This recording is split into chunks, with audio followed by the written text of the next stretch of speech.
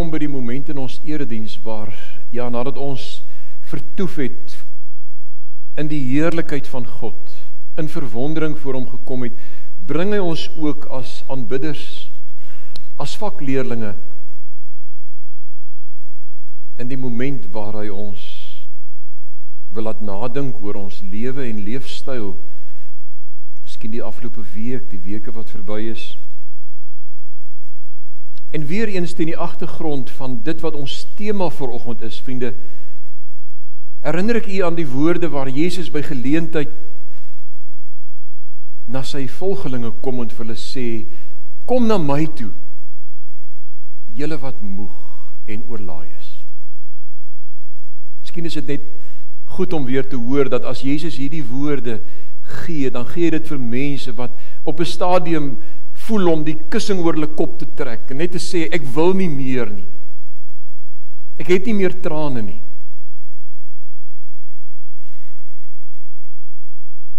Vind hy sê dit vir die mense van daai tyd spesifiek teen die agtergrond dat daar 'n klomp mense was ook sektegroepe, die Sadduseërs by name wat vir die mense van die tyd gesê het dat jy sal reg wees met God. Jy sal reg wees met God. Jy sal in die familie van God wees as jy wetlik volgens die wet en al die reëls korrek lewe. En daar was baie wet. kan nie dink hoe moeg dit mense moes gemaak het. Net by die gedagte ek ek slaag nie daarin nie. Dan was daar die groep die fariseërs wat vir die mense gesê het as julle die politieke magte van die dag eerbiedig en getrou en streng lewe volgens hulle reëls dan sal dit met julle reg wees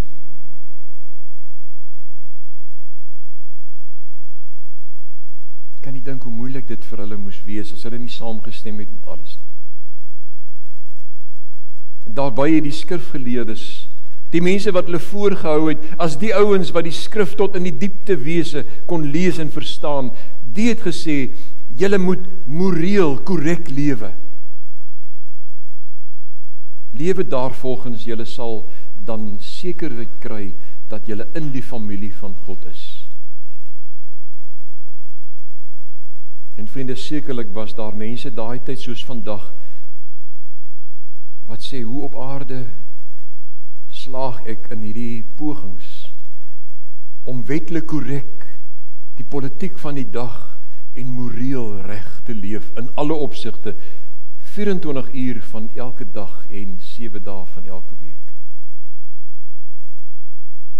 Het jy geslaag die week om dit so te doen? As jy soos ek wil sê nie eers een oomblik nie. Dan herhaal ek die woorde van Jesus wat vanmôre kom en sê as jy moeg is en oorlaai is moeg om die wet te onderhou kom na my toe. Ek sal vir jou rus gee. Ek sien jou trane van moedeloosheid is jy dalk vanmôre in daai situasie by Jesus se voete soos die volgelinge hom destyds daar by die berg ontmoet het. Kom ek gee 'n oombliekie van stilte en jy bely net en erken maar net jou moegheid. Ek gee jou die geleentheid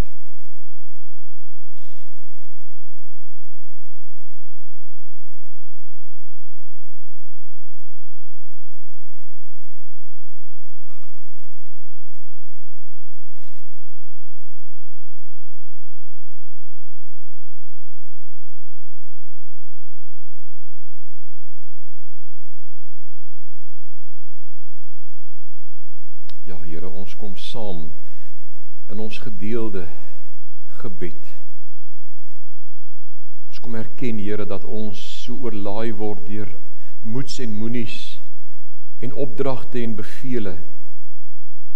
Alles in 'n poging om om reg te lewe. Ons kom erken ook Here dat baie van die goed wat ons doen vir ons matelose spanning bring Dit maak ons siek. En laat ons dikwels huil.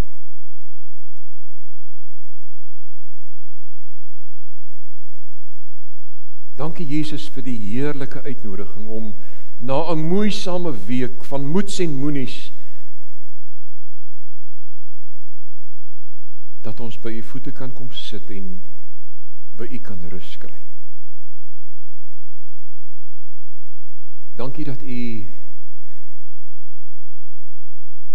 van ons trane boekhou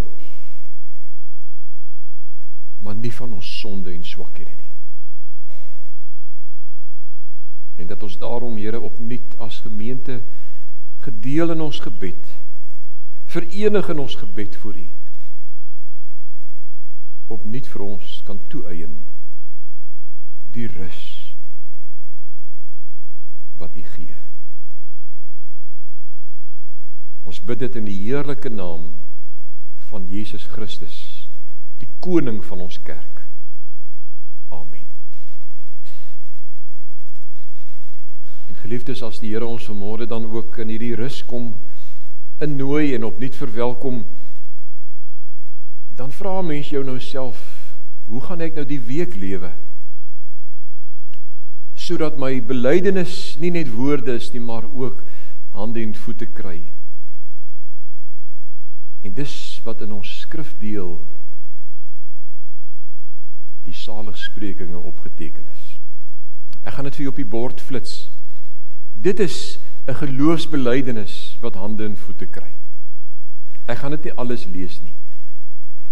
Maar net enkele grepe daaruit, jy sal dit volg geseend is jy wat weet dat jy van God afhanklik is in die komende week. Geseend is jy as jy seer en stikkend is en treur. En dit maar erken en dit maar wys dat jy treur oor die dinge waaroor God se hart ook stikkend. Geseënd is jy as jy sagmoedig lewe. Nie hoogmoedig nie. Sagmoedig. Nederig in ander woorde. Geseënd is jy as daar by jou 'n brandende, dringende honger en dors is na wat reg is in God se oë. Geseën sal jy wees as jou hart reinheid nastreef. Geseënd sal jy wees in die komende week as jy vredemaker is. Waar mense mekaar haat op watter terrein of vlak ook al. Geseën sal jy in die week wees as jy vervolg word op watter vlak ook al. En dit bereid is bereid is om dit te beleef en ervaar as mense jou ook uitlag. Dalk valslik iets sleg van jou sê.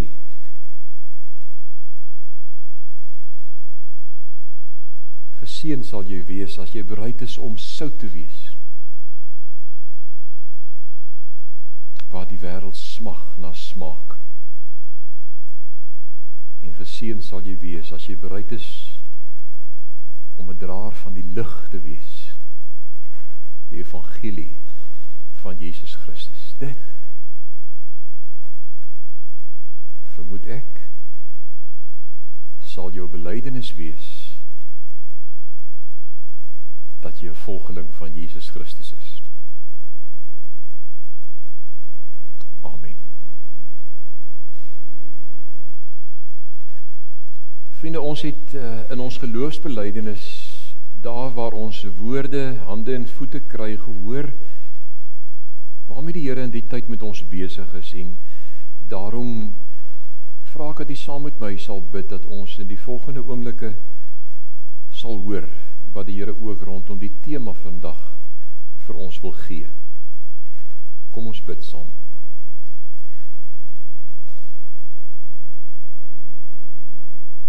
Here vir die meeste van ons is 'n gebuigde knie en 'n gebuigde hoof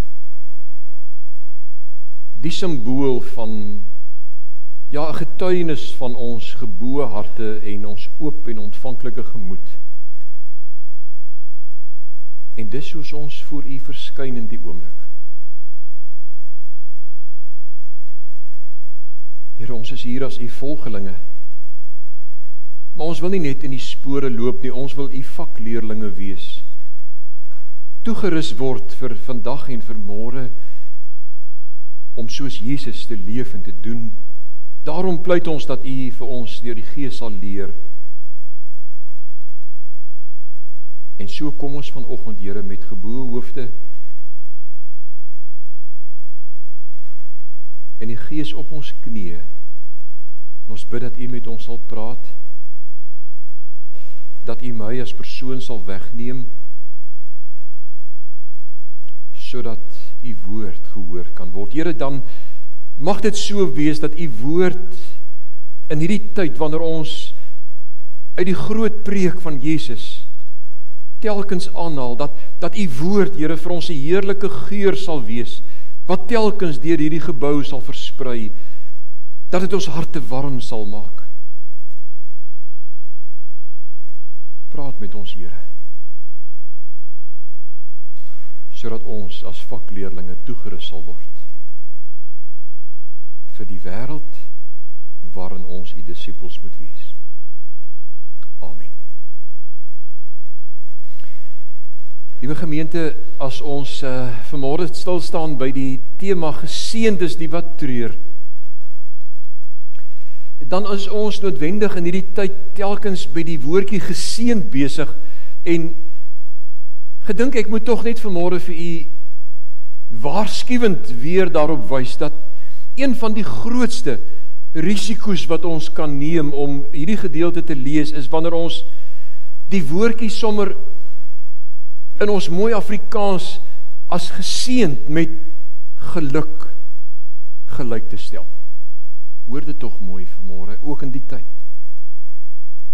Die woordjie geluk of die Engels happiness. Die Engelse woord happiness kom van die Latynse woord hap.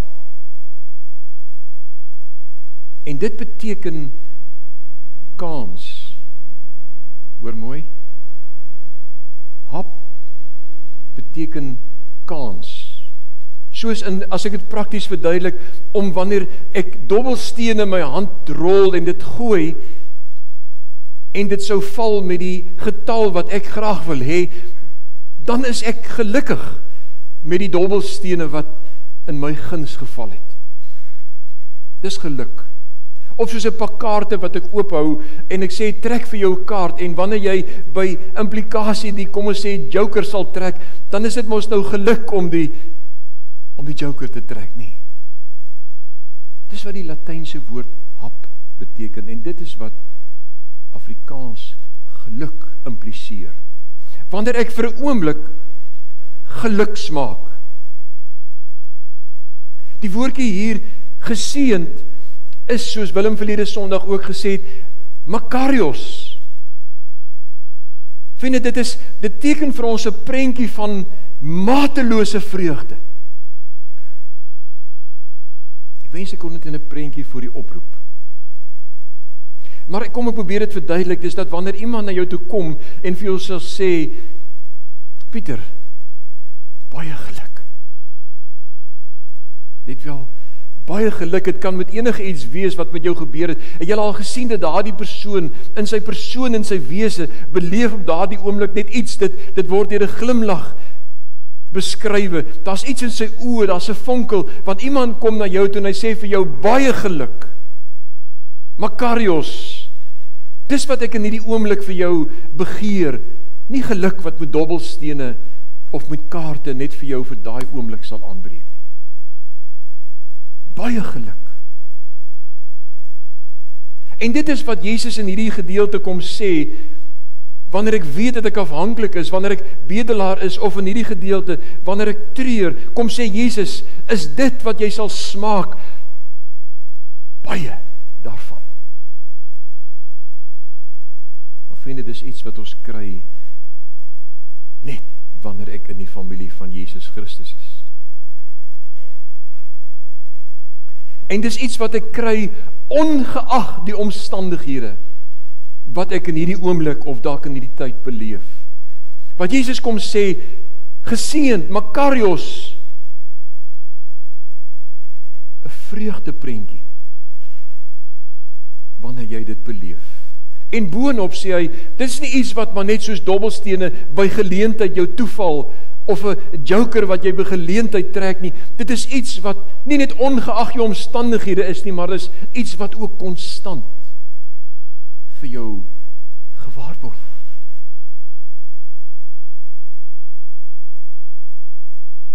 Vriende, Makarios, geseënd is jy in vanoggend se tema wanneer jy treur. Kan ek maar net weer sê vriende, geluk.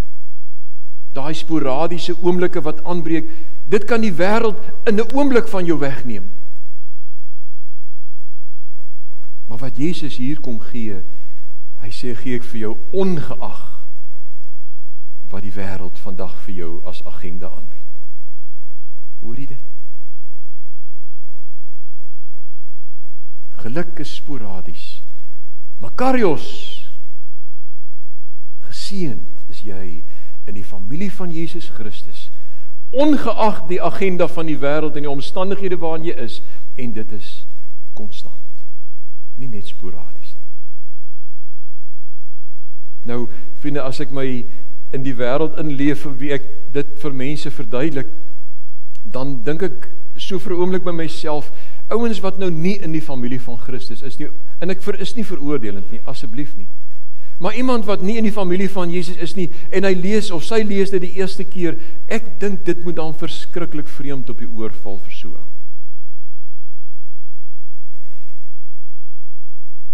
Gelukkig geseend is die wat treur. Sal mense nie in die familie van Jesus Christus dalk vir 'n oomblik lees om te sê gelukkig is die ongelukkige. Dit moet vreemd op die oor val, nê? Hoe kan dit gebeur? Of anders te omgelees, weet die wat nooit treur nie. Dit wil sê die ouens wat net altyd lag en altyd in 'n luim is waar hulle uitbundig is. Hulle sal ongelukkig wees. Val vreemd op die oor nie. Kom ons gee 'n treukie terug. Verlede Sondag het uh in ons erediens ons gehoor geseend is die wat afhanklik is. Geseend is hulle wat weet dat hulle ongeag hulle status, ongeag hulle min of baie goed ongeag hulle baie of min geleerdheid. Geseënd is hulle wat weet dat ek in my persoon eintlik maar net 'n bedelaar is. Geseënd is hulle wat in hulle persoon weet dat ek is arm aan die gees van God.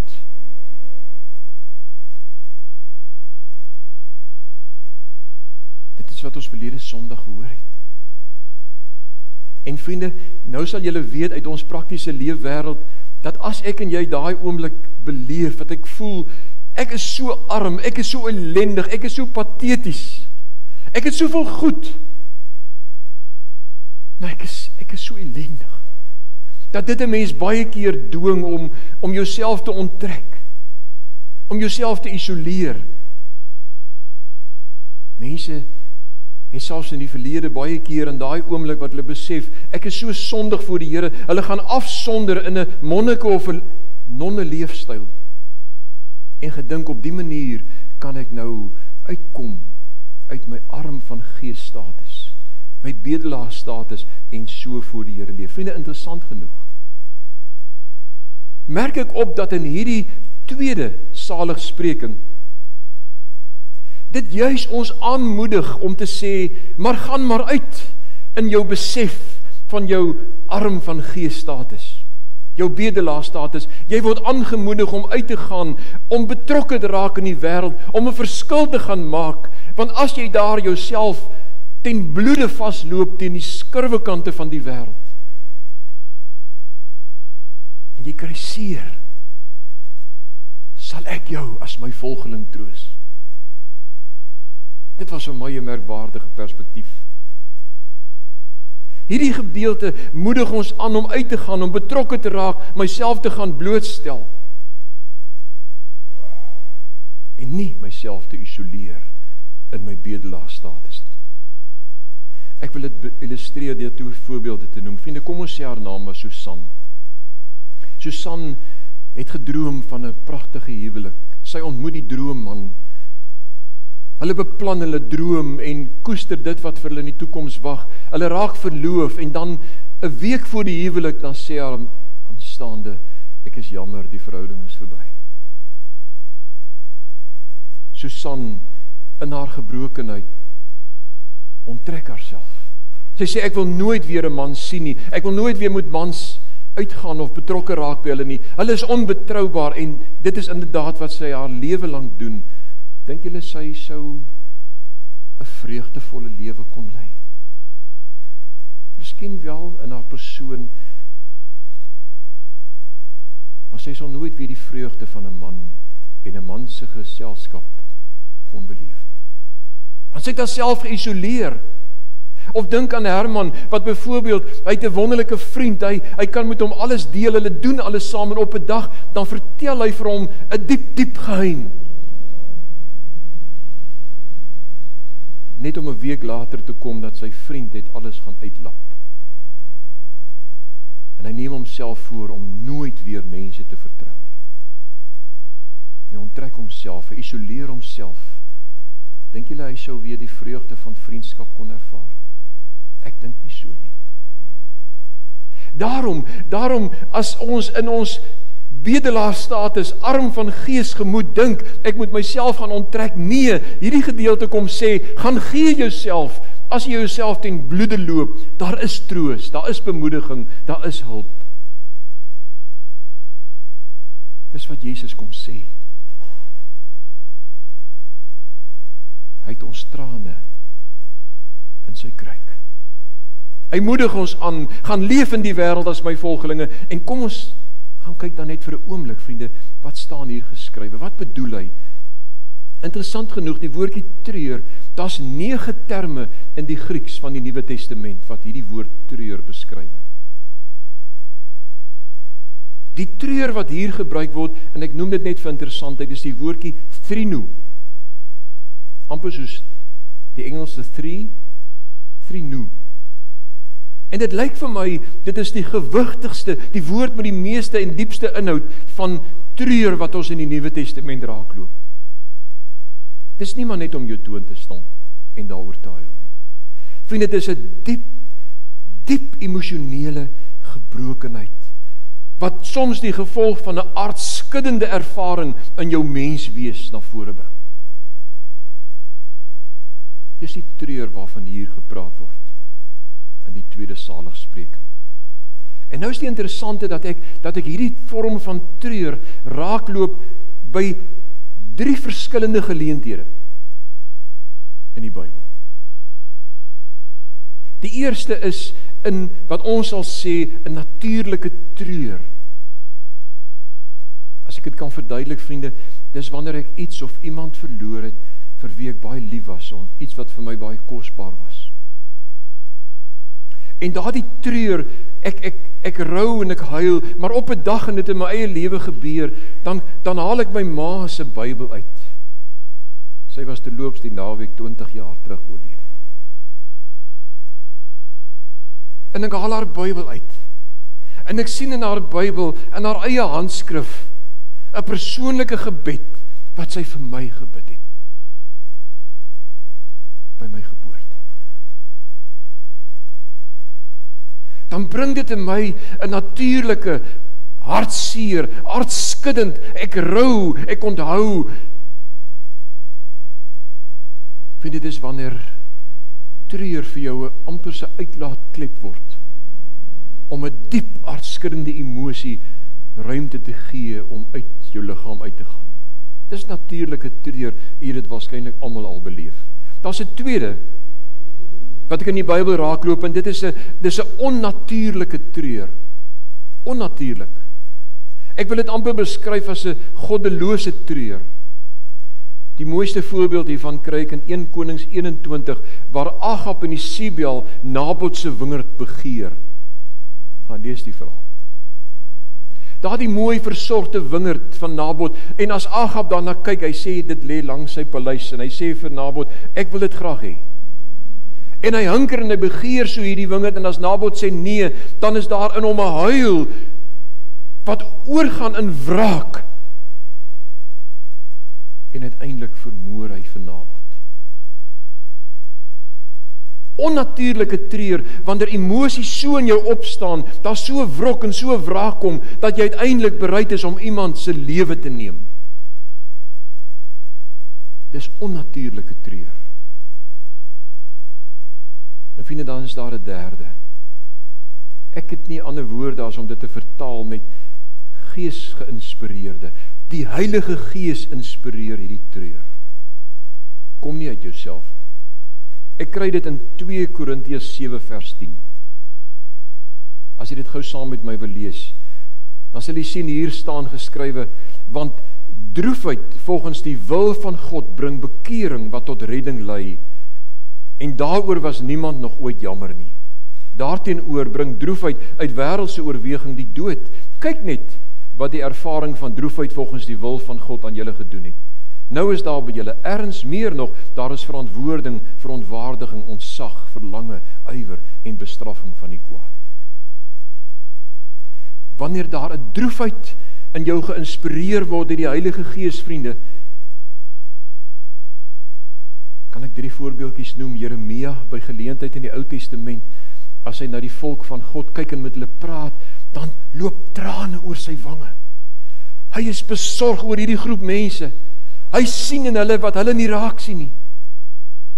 Onthou jy toe Jesus Jerusalem ingegaan het? Toe die mense met die palmtakkies vir hom welkom sê, toe huil Jesus want hy sien in Jerusalem 'n situasie wat die mense nie raak sien nie.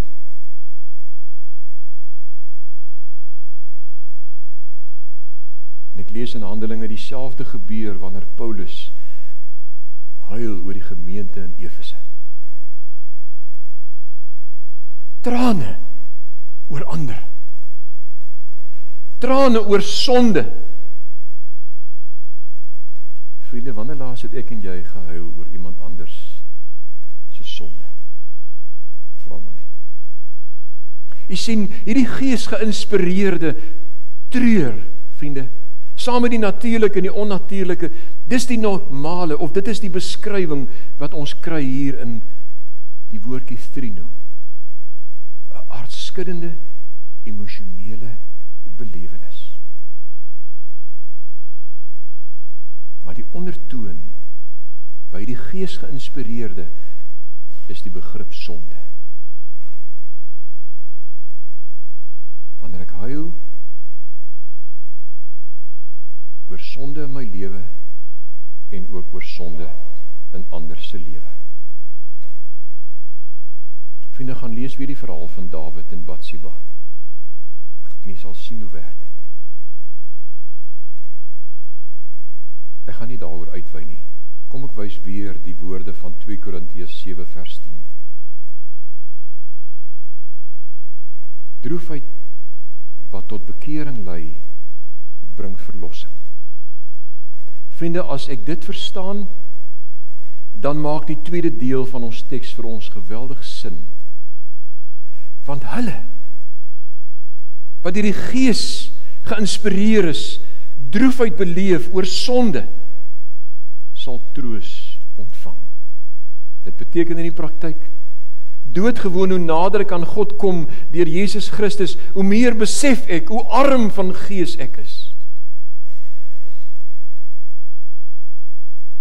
Meer besef ek wat op Golgotha gebeur het. Kry ek 'n dieper insig en perspektief, die prys wat Jesus betaal het. En in die proses dink ek net elkeen minder van myself en vriende in hierdie gebeure wat in my opwelm is 'n geesgeïnspireerde droefheid, 'n gebrokenheid oor my sonde en oor die dinge waaroor God se hart breek. En die gevolg hiervan die gevolg van hierdie treur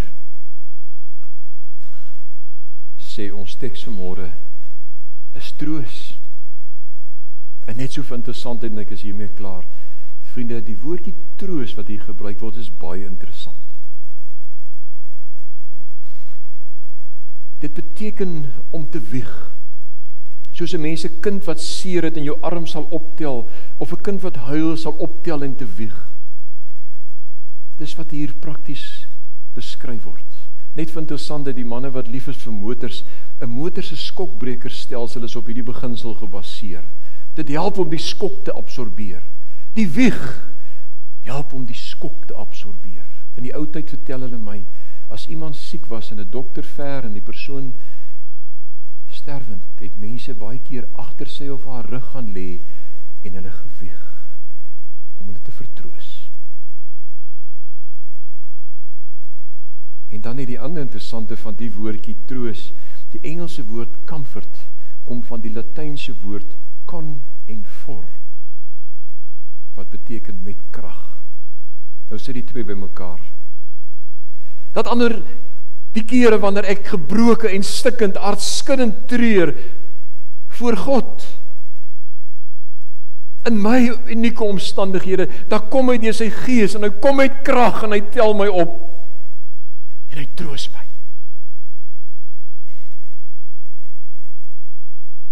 In hierdie wêreld waar ek uitgaan en sy spore gaan loop. As ek my vasloop in watter omstandighede ook al geseënd is jy wat treur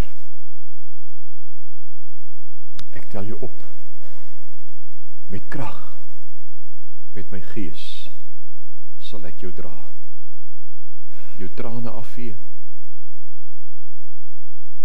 en in my kruik dit bewaar Here, dankie dat ons dat ons in hierdie oomblik u woord kon lees en daaroor nadink. Dat ons ook so 'n bietjie tussen die lyne kon gaan lees. En dankie vir die heerlike belofte, Here, dat u ons uitnooi wanneer ons uitgaan en in hierdie wêreld betrokke raak as u volgelinge. In die spore loop ongeag ons omstandighede dat u ons ook in ons seer sal vertroos. Ook as ons huil oor ander en oor my eie sonde. Daarom Here kom lê ek hierdie gemeente vanoggend in u arms. U ken ons omstandighede, u ken ons elkeen persoonlik. En dankie dat hierdie gedeelte ons troos.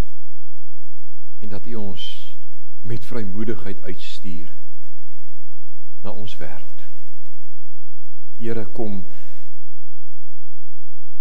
kom stort maar net weer die seën op ons uit asseblief.